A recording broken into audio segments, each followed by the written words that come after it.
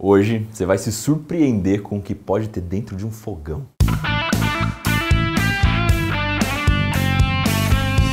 Esse aqui é um fogão que a gente conseguiu num ferro velho aqui perto, já faz alguns meses. Como é um fogão autolimpante, a gente deixou aqui na garagem um tempo para ver se ele autolimpava, né? O que eu acho que não deu exatamente muito certo. Além de desmontar e ver como o fogão funciona, eu quero aproveitar duas coisas dele. A primeira é esse painel de inox aqui em cima do fogão, porque a gente reformou o nosso painel de ferramentas e não refez o painel de ímãs. Acho que ele não combina mais com o visual novo do painel, né? Então eu acho que vai ficar muito mais bacana um painel de inox. E a segunda coisa é... Vou deixar pro final. Como eu quero tirar essa parte de cima ainda viva, acho que eu vou dar um grau nela, porque aqui tá numa posição boa.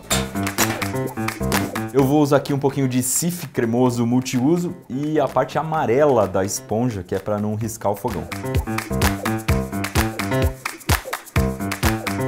Sif tem umas micropartículas abrasivas que são de calcita, mármore, que funcionam como se fosse uma areinha bem fininha, que ajudam muito a limpar, mas ao mesmo tempo não riscam.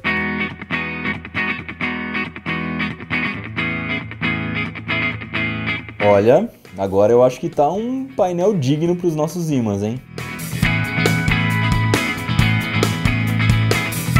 Até aqui todo mundo conhece. Vamos começar a desmontar o bichinho mesmo. Ah, agora sim. Agora a gente começa a entender o bichinho. Olha só. O gás vai chegar por aqui, por esse cano de metal, e vai ser distribuído por cinco torneirinhas, cinco registros. Essas primeiras quatro, elas vão distribuir para as bocas do fogão, para essas quatro bocas. Então ele sai da torneirinha e vai até o bico, onde o gás vai se misturar com o ar.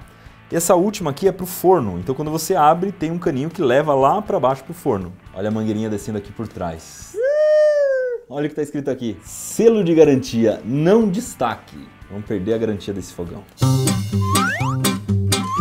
Caso, não dá para destacar mesmo, então a garantia está garantida. O CNPJ da empresa aqui ainda está como CGC.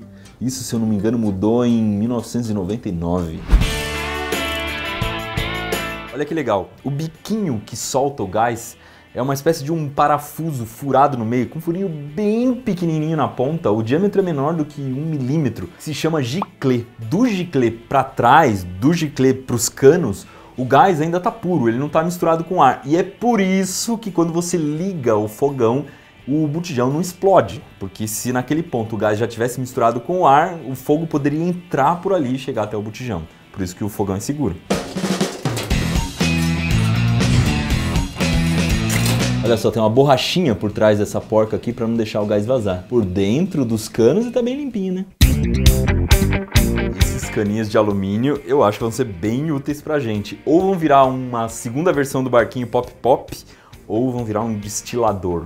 Bota aí embaixo nos comentários o que, que você acha que é mais legal a gente fazer. Doido é que esses registros de gás aqui, eles também são rosqueados no cano principal e em algum, não sei se isso vem de fábrica, mas em algum momento alguém passou uma fita de teflon aqui, um velho da rosca, para ficar bem justinho. Tem dois botões aqui, um de acendimento, é um botão que você aperta e ele volta, que nem se fosse de uma campainha, e o outro da luz, ele aperta e fica. Então ele fica ligado e depois volta. Esses dois botões podem ser úteis pra gente fazer alguma coisa maker. Não vamos desperdiçar os bichinhos não.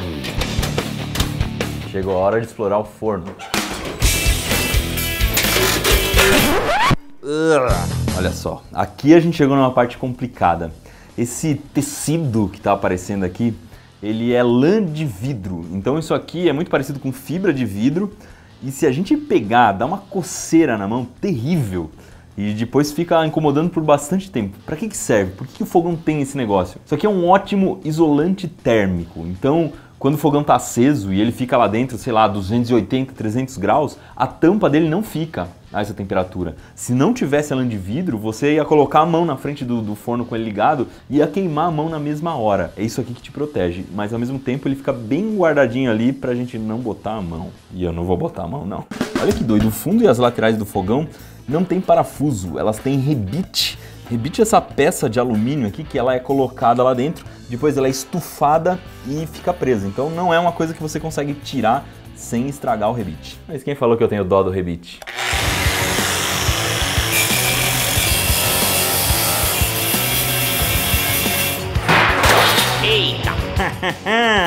oh!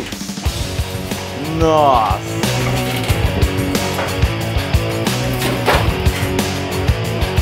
Lâmpada estava queimada. Esse aqui é aproveitar a lâmpada, aproveitar o soquete.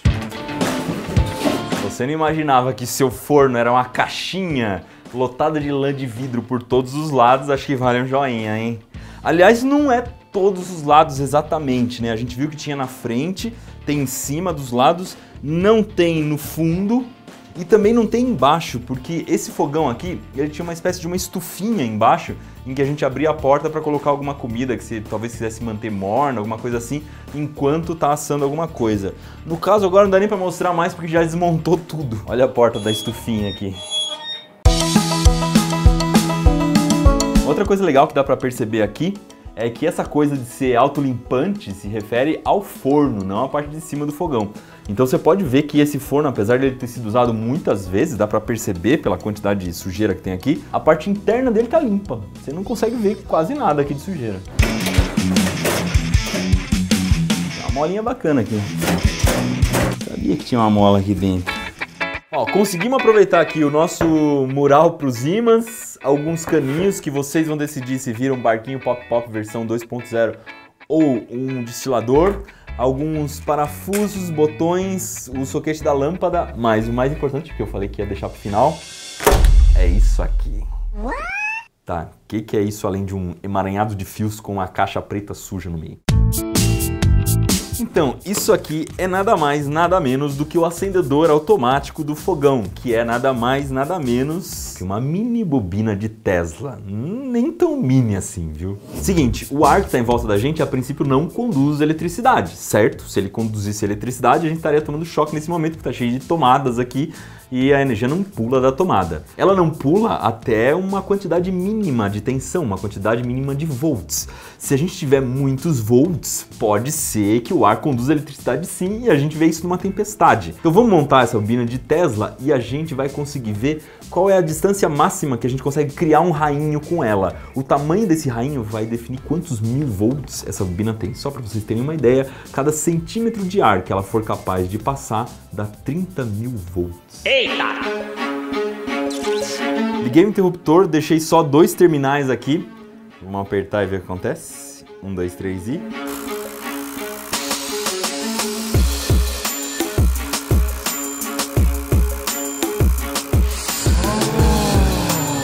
O bacana desse negócio é que essa bobina foi criada para ficar um fogão dentro de casa. Então todo mundo sabe que uma hora ou outra alguém vai botar a mão e vai tomar um choquinho aqui.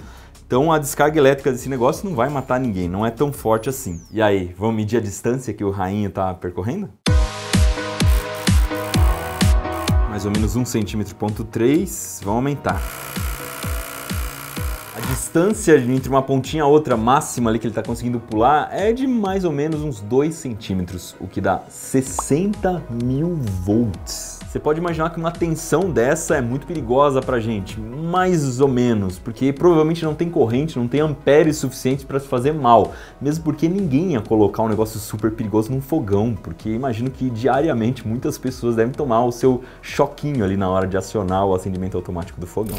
Mas minha experiência preferida com esse negócio é fazer uma bola de plasma caseira usando uma lâmpada incandescente. Dá uma olhadinha só no efeito que isso aqui tem numa lâmpada.